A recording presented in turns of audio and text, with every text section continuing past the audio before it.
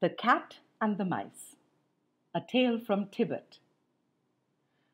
Once upon a time, there was a cat who lived in a large farmhouse in which there were a great number of mice.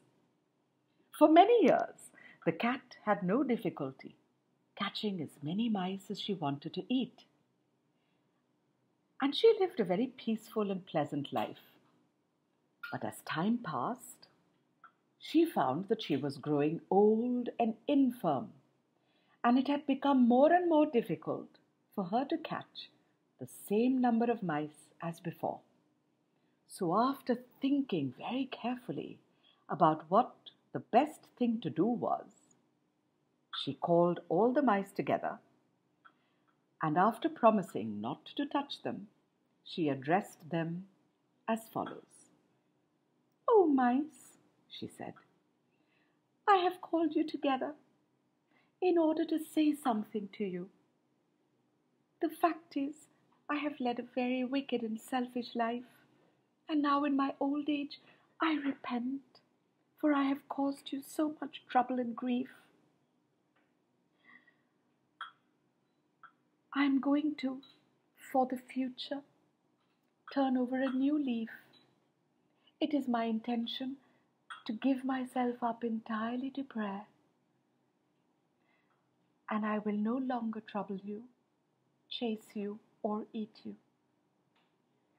From now on, you are at liberty to run about as freely as you'd like with no fear from me, fear of me.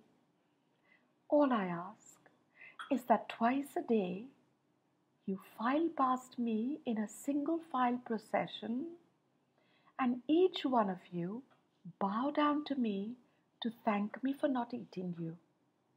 All right? Let this be a token of your gratitude for my kindness. When the mice heard this, they were greatly pleased, for they thought that now at last they would be free from all danger from their former enemy, the cat. So they very thankfully promised to fulfill the cat's conditions and agreed that they would file past her and make a salam twice a day. When evening came, the cat took her seat on a cushion at one end of the room, and the mice all went by in single file, each one making a profound salam as they passed her. Now, the cunning old cat had arranged this little plan very carefully with an objective of her own. For as soon as the procession had passed by, with the exception of the very last little mouse, she suddenly seized the last mouse, last mouse in her claws without anyone noticing what had happened and devoured it at her leisure. And so, twice a day, every day, she seized the last mouse of the series, and for a long time she lived very happily, comfortably, without any trouble at all in catching her mice. None of the mice realized what was happening. Now it happened that amongst these mice were two very good friends whose names were Rambe and Ambe. They were very attached to each other. Now these two were cleverer and more cunning than most of the other mice. After a while, they noticed that the number of mice in the house seemed to be decreasing, in spite of the fact that the cat had promised not to eat them. So they laid their heads together and arranged a little plan for the future.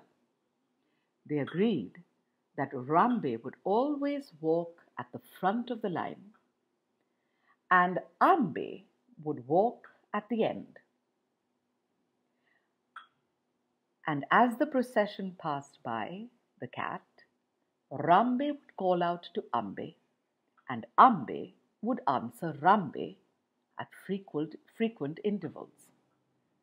So the next evening, when the procession started as usual, Rambe marched out along in front, and Ambe took up his position at the end. As soon as Rambe had passed the cushion where the cat was seated and had made his salam, he called out in a shrill voice, Brother Ambe, are you there? Here I am, Brother Ambe, squeaked the other from the rear of the procession. And so they went on calling out and answering one another until the entire procession had filed past the cat. The cat had not dared to touch Ambe as long as his brother kept calling out to him. The cat was naturally very annoyed at having to go hungry that night and was very cross all night. She thought it was only an accident that had brought the two friends, one in front and one in the rear of the procession, and she hoped to make up for her enforced abstinence from food by finding a particularly fat mouse at the end of the procession the next morning. What then was her amazement and disgust when she found that on the following morning the very same arrangement had been made, and Rambe called to Ambe, and Ambe answered Rambe until all the mice had passed her by. And so, for a second time, she was stolen, she was foiled of her meal. However, she disguised her feelings of anger and decided to give the mice one more chance. So, in the evening, she took her seat as usual on the cushion and waited for the mice to appear. Meanwhile, Rambe and Ambe had warned all the other mice to be on the lookout and to be ready to take flight the moment the cat showed up or showed any appearance of anger. At the appointed time, the procession started as usual, and as soon as Rambe had passed the cat, he squeaked out, Where are you, Brother Rambe? Here I am, Brother Rambe, came the shrill voice from the rear. This was more than the cat could stand. She made a fierce leap right into the middle of the mice who, however, were thoroughly prepared for her, and in an, in an instant they scuttled off in every direction into their holes. And before the cat had time to catch a single one, the room was empty, empty, and not a sign of a mouse was to be seen anywhere. After this, the mice were very careful not to put any further trust in the treacherous cat, who soon after died of starvation owing to her being unable to procure to get any of her customary food. But Rambe and Ambe lived for many years and were held in high esteem and great honor by all the other mice in the community. Thank you.